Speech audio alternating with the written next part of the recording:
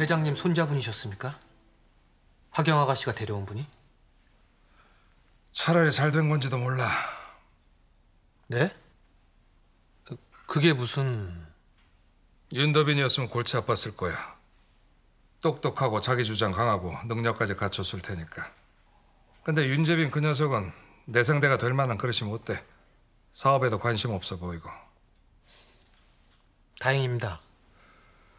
근데 화경이가 그 녀석하고 결혼한다고 나선다면 윤재빈을 방패 삼아 미성을 삼키려고 들겠지. 참, 한주원은 태어나셨습니다. 어때요? 회의해보니까? 다들 열정이 대단하던데요.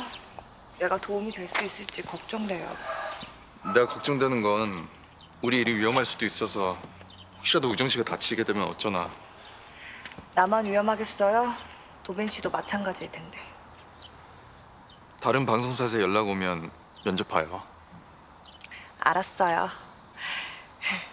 연락 오는 데가 없다는 게 문제죠. 엄마! 우철이랑 같이 장 보러 갔었어? 네.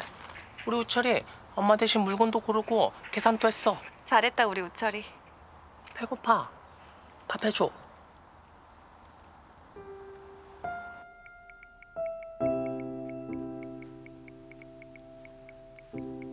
두 사람이 서로 좋은 감정으로 만난 거 알아. 하지만 난 우리 우정이를 달가워하지 않는 도빈 씨 어머니가 걸려. 죄송합니다 한 선배님 엄마, 내가 도빈 씨 어머니께 더 잘할게. 그러니까 엄만 반대하지 말아줘. 부탁이야.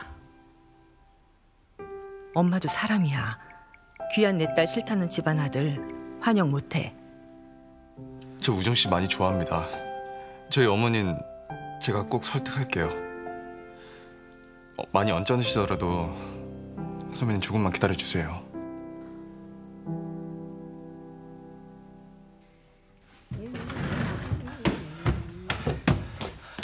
영신 여사 이야기 좀 합시다.